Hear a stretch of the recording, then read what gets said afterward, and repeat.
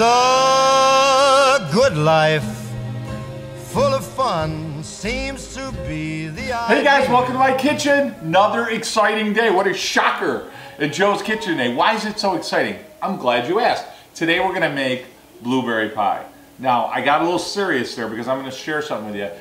This blueberry pie recipe I'm gonna share with you is absolutely awesome. It's absolutely delicious. So it's great. And one of the things that makes pie so delicious is a pie crust. So just to save time, I didn't want to do the pie crust and the blueberry pie. Plus you can use pie crust for so many different recipes. So we went ahead earlier today, we, we shot a video on how to make, I'm going to say the world's greatest pie crust, but certainly a great pie crust. So, um, so take a peek at that video.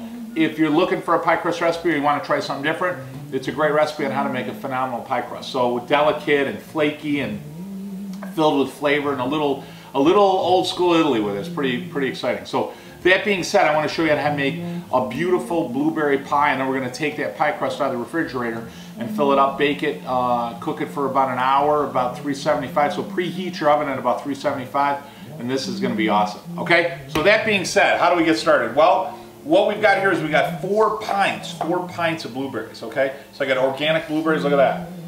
Oh, so when we deal with blueberries, we're going to add sugar, and you're like, hey, well, how much sugar do I add? We're going to add about a cup to a cup and a quarter, give or take. And I'll tell you why. You don't exactly know why or how. Um, you want to taste the blueberries. So some blueberries on a harvest will be a little sweeter than others, just like like an apple pie or whatever. If you find them real sweet, you're going to back off a little bit on sugar. If you find them to be a little bit more tart, or you like your pie a little bit more tart, um, like I said, back off, uh, back off on the sugar. If you want a little bit more sweet, add a little bit more sugar. The other thing on blueberries, a lot of times when you buy blueberries, see how there's a little stem right there? So you gotta just check the blueberry. So I left that one on top for you. So you're just gonna, it's kind of cute, right? It looks like a little apple, isn't that beautiful? So you're just gonna pull, pull those off just to make sure everything's good because you don't wanna get a stem in your blueberry, okay? Now I've got a cup of sugar, okay, granulated sugar. I've got a teaspoon of vanilla, all right? And I've got a half, juice of about a half of a lemon there, okay, about two tablespoons, give or take. The other issue you run into a lot of times with blueberries is um, you're going to uh, uh, run into a runny. Anytime you deal with fruit, a lot of times there's a lot of moisture up. So we don't want to have it really soupy. And, and not only that, we'd like to add even something awesome to it, like a really nice a bed, if you will, for the blueberries to be in. Almost like a jam is what you want in there, which would be great. So what we're going to do is we're going to cook the blueberries down ahead of time, and then we're going to thicken it just a bit, then let that cool a little bit, and then we're going to throw that right inside uh, the pie crust, cover it up, and then bake it at 375 for about, uh, like I said, about 45 minutes or so. Now you're not going to cook the blueberries all the way down, but what you're trying to do is you're trying to get the blueberries to release a lot of that moisture. It makes life a lot easier. So when you put it in there, you're going to need some cornstarch. So you're going to do tablespoon and a half of cornstarch. Okay, that'll act as a thickening agent when you heat it up inside there. And then you're going to use the other half of that lemon that you cut up, and we're going to use that to add to the cornstarch. Again, if you guys watch my videos, I hate, hate adding any type of water to anything. So if you can avoid adding water, add something that's going to add flavor and depth rather than dilute it and take it away. We also want an egg wash. So what I did is I took an egg, and I added some milk to it. Now why do I do that? One, I want to coat the inside of the pie crust with an egg wash. Now I'll tell you why.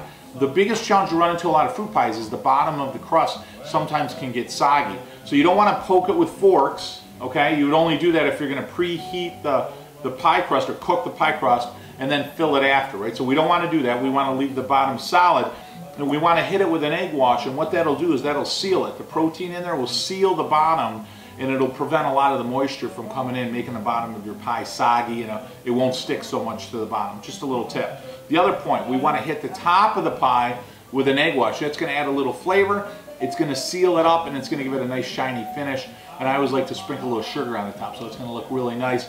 Gives the sugar something to adhere to. Okay, so how do we get started? We're going to take a pan, which I'm going to grab right behind me. We're going to take a pan nice and easy. Now this is an ideal pan if you can, okay, real easy. And you're going to take your blueberries, which are very unforgiving by the way if you get blueberries on your shirt, okay. Now we're going to just add easy. We're going to add our lemon. Now why do you add fresh squeezed lemon? That's going to act as a agent to start the cooking process. Plus, it's what they do in cooking. It's called brightening the food or brightening the berries. So it brightens their flavor just a little bit. One of the other things I always do, I always look for stems. I hate to have a stem in my in my pie. I'm going to take some vanilla, put that right in there. I don't know about you guys, I love vanilla. And then one of the best things to add to vanilla, which makes it taste delicious. You guys ever have vanilla and you think, oh my god, that smells so good, it must taste great, and then you taste it and you're like, oh my god, it's terrible. You gotta add sugar, okay? So we're just gonna add our sugar, okay? And that's it. And then what I like to do, before I add the heat, I just like to stir everything up. And uh, I'll tell you, we're coming into fall in Cazenovia. Definitely best time of the year. Best time for baking and cooking, and you know, you get into stews and different types of uh, like a roasted chicken or a turkey. Oh, and the pies and the cakes. Always my favorite time of the year. As sad as I am to see summer go, I love autumn and fall. Best time of the year. All those nice holidays. All right, so I got it nice, well incorporated, and then I'm to add a little heat to this. So I'm going to have you guys invite you over to my stove, and we're going to warm it up. I'll show you exactly how it looks, how it warms up, how it releases that moisture, and then how to add that cornstarch. Talk to you guys in a minute. Hey guys, all right, I just put it on the heat, okay? So now I'm just gonna let time and warmth and, as I always say, chemistry, right? The magic.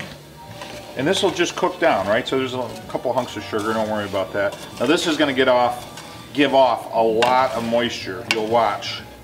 So what'll happen is the berries, as they start to heat inside, they'll rupture the outer skin or it'll come through the stem or the base and they just give off a lot of moisture. So this will just take a couple of minutes. So I'm going to warm this up for a couple of minutes, all right?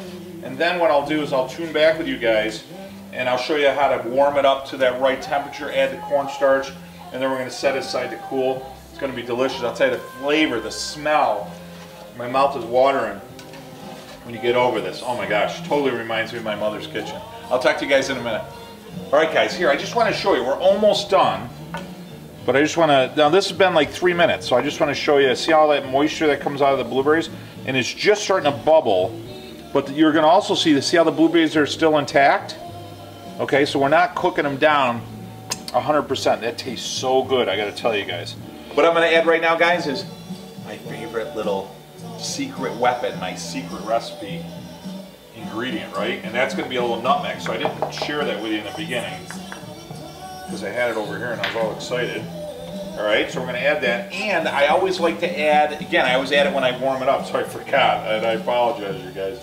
Okay, guys, second secret ingredient, butter, non-salted, three tablespoons, okay? So I'm going to pop that in there.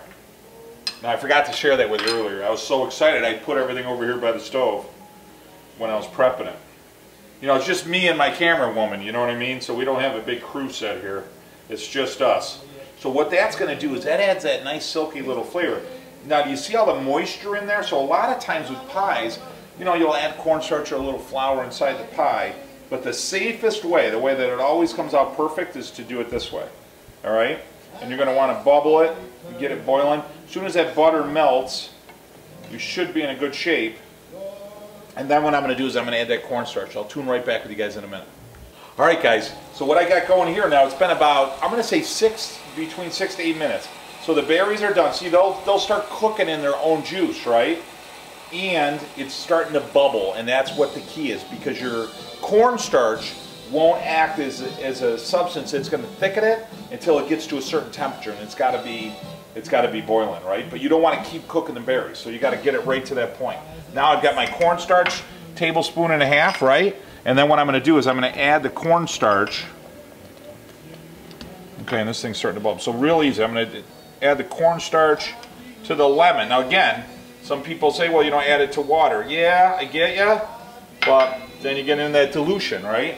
The key here is you just want to mix it and you want to make sure that there's no lumps in there, okay?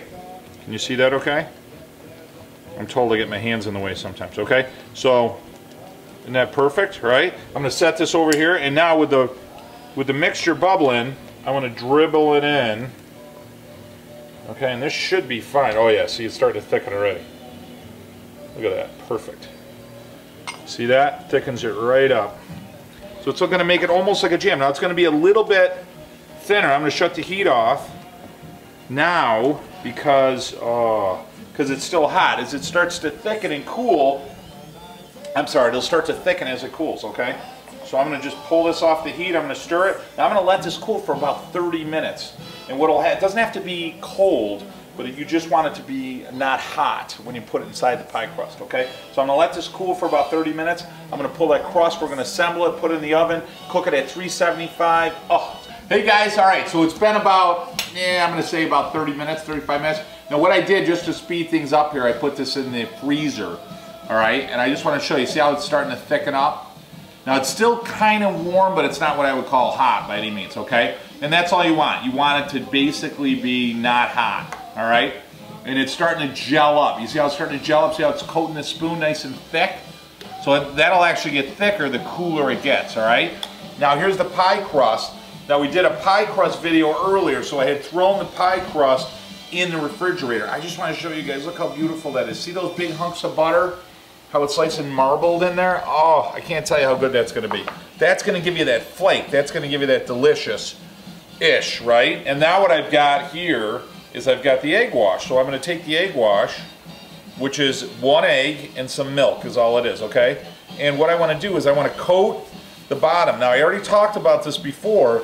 You do not want to make the bottom with holes because I'm putting a liquid in there and it'll it'll seep through, it'll get up underneath those bad things, okay? When would you do that? The only time you'd ever do that is, let's say I was gonna make uh, like a chocolate pie or a lemon meringue pie or, you know, a pie where I'm gonna actually take the pie crust, it's already pre-cooked, and then I'm gonna put something in there. In that case, you wanna poke some holes so the moisture can get out and then you're gonna weight it down, okay? But that's not what we're doing here, okay? So I'm gonna take just a little bit more, and then what I'm gonna do is put it on the bottom. Don't rub it, because it'll undo the dough, right? And then I'm going to just do it along the sides. Okay? And that's it. Just nice and easy. Everything's cool. The dough, everything's nice and cold. And I'm going to put that up along the side. Beautiful. All right, so now we're good, right? So I'm to put this along the side because I'm going to use that egg wash on the top. Now I've got this blueberry. Now this might be a little bit too much for that whole container, so that's fine. I'm going to put it right inside. And don't splash it because you'll ruin your shirt. And that's me talking out loud to myself, okay? Look at that. Oh, is that awesome or is that awesome? All right? And that'll gel up. So now what I'm to do is just grab a few more of those blueberries. Look at that. Is that awesome? And now there's still a lot of moisture, and that moisture is to come out, right? So I'm to put that in there. Beautiful. Don't get nervous. It's to be a little liquid. When that cools, it'll cook. More of the moisture will come off. And then when it cools, a lot of that... My mouth is watering. That smells so good with the nutmeg and the sugar and the butter. Oh my God. All right, so I'm to set that over here, right? Look how perfect that looks. Now I want the top. I want that... Mm, I want the dough from the top. So hold on. Magica TV. Okay, guys. What I did is I took that top. That, that was in the refrigerator, okay?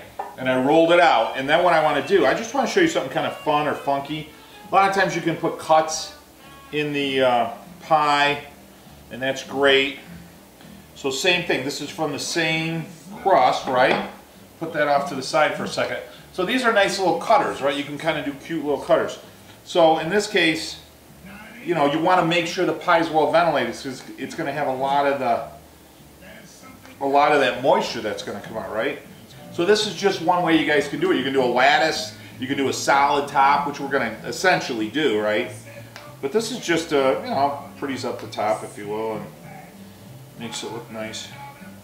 Okay, so we're pretty much all set, okay? So now what I'm going to do is, this is going to be the top, right? So I'm going to roll it this way for a minute, okay? I'm going to slide my awesome pie, oh, right here, right? And then I want to make sure I get center to center here. So that is about perfect. Beautiful. All right. So I'll move it over just a touch. And then don't worry about the top because that'll. Oh, that's good. So now what I'm to do is I just want to cut around the side, right? So I'm just going to, because I'm going to fold everything together. My grandmother would be very proud of this pie. We haven't tasted it yet. Okay, great. So now we're set, right? Now what I want to do is I've got these two sides, right? If you guys can see that, right? I've got these two sides and I got to fold those together, right? So the simplest way to do it is to take it like this and fold it under, okay? So I'm going to do it away from me. I normally wouldn't necessarily do it like that, but I'm going to fold it away like that, okay? And we got a nice design. There you go. And you're just going to go right around. Just do it from your side. Just take your time. Now remember, the inside's a little bit soupy still, though it's starting to get, I can tell already, it's starting to thicken even more because the pie crust is so cold. Alright, and just roll it. Perfect. Okay? And then what I'm going to do is, without trying to mess with the design too much, right? I'm just going to push it across like this. Oh, that was good. Alright? Just run it right across like that. Oh, I'll tell you, the smell in here, unbelievable. And then I'm just going to push it. Got a little blueberry oozing. Now don't worry about it. What I like to do, don't worry about anything oozing out. What I like to do in these cases is because you know it's going to bubble through, I like to leave this just higher so nothing comes up, all right? Now I'm going to get a knife and I'm just going to put a couple extra slices in there. Okay, so I just got a knife and I'm just going to put a couple of slices in where I put those impressions through. And you just want to make sure, remember, open them up, okay? Because the goal here, you've got to get some, some ventilation, all right? Because if not, what will happen is, trust me, it'll find a way and then it bubbles all the way through, okay? So give me one second. All right, so we got some good ventilation. I put a cut everywhere we need it. And now I've got my final, we're gonna do two things, okay? I've got my final egg wash, okay? So nice and light. And just put it across the top. Try not to mess your decorations up, okay? Well, they'll come out pretty good, so don't worry about it. Just don't brush on them. And then if you can, try to put a little bit of the egg wash up on the side because what that'll do is that'll give it a nice finish, a nice shine. And the other point, which I'm going to show you in a second, is our sugar. Alright? We're going to put a nice little sprinkle of sugar on the top.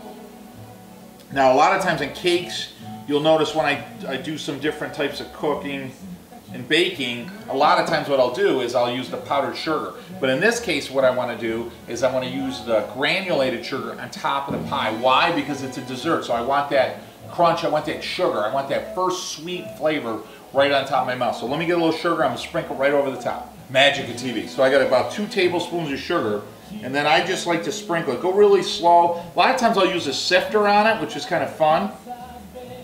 And you're just going to go right over the top. And don't worry about it, it'll caramelize a little too, which is really nice. Oh, that's beautiful. Perfect. Okay, a little bit of a mess. I've got the oven preheated, 375, we're gonna pop it right in there. Now the trick on the oven is about every 15 minutes, take a look at it, because you might want to turn it. Sometimes the oven will cook a little bit browner on one side, you'll have what they call hot spots in the oven. So just keep turning it, turning it. You're gonna be probably a minimum of 45 minutes, if not an hour, then you're going to let it set. You're going to plate it, let it set, and then it's going to need to cool for about a half hour, 30 minutes, and then there's a really special way to eat it, and I'll share it with you in a minute, okay? So let's pop it right in the oven. Are you serious? Mmm, that is beautiful and that is hot. All right, so what we're going to do is we're going to let that set for about 30 to 40 minutes. I'm going to let that cool, and when we're done, favorite part of every video with Cooking Italian Joe, tasting part. I'll talk to you guys in a few minutes. Hey guys, welcome back. All right, so it's been about 30 minutes. It's warm, but it's certainly not hot. Normally I'd let it cool a little bit more, but we don't have time and I'm dying to taste this thing, all right? So, so let's just check this out. Now what I want to, what I want you to see is I'll just poke a little bit at that crust. If you guys see how nice, see how nice and flaky that is right there? That is absolutely perfect. Perfect, perfect. And then we got a nice crunch. Look at that. See that nice crunch? So the sugar caramelizes on the top. Oh yeah, that's good. All right, guys, it is taste time. Cooking it down with Joe. Blueberry pie, awesome crust. Oh my God, are you guys excited? Oh, I'm telling you, if that isn't my grandmother's kitchen right there, holy mackerel. So this is melting, this is still kind of hot. We're still getting, you know, we're rushing this. For several reasons. I'm not gonna lie, part of it is me because I want to eat it. So we've got that nice caramelized sugar. Look at that, look at how flaky the crust is. Look at that. Is that, look at that. Is that absolutely perfect, right? And what I did, just to like really step out of the box, I've got some vanilla ice cream there. I'm not gonna lie, my mouth is really watering right now. All right, so it's gonna be messy, we don't care, right? Normally, I'm gonna tell you, let it set for a good few hours, put it in the fridge, let everything get nice and solid. Oh my God, that's good. Oh my God.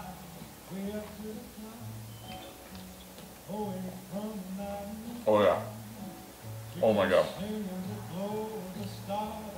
The crust is absolutely, it's so good. One thing I love about a really good crust is it adds flavor. You know, it's not just a texture. I gotta have one more. Can you guys taste that? Can you smell it? Oh, that's good. Mm. Right away, you get that sugar right on the top, so it gives you a crunch. And then the blueberries and the sugar, and there's a little tartness on the background, and the vanilla, and then you can just feel just like a hint of nutmeg. Mm. Oh my god. I think that's the best blueberry pie I've ever had, ever made in my life. Oh my gosh. Guys, thanks for joining me for such a great celebration and a great blueberry pie. Guys, thanks so much for joining me today for a great video and a great recipe. Set some traditions, certainly share your heritage. Until next week, guys, bon appetit. Talk to you guys next week. A good life, full of fun, seems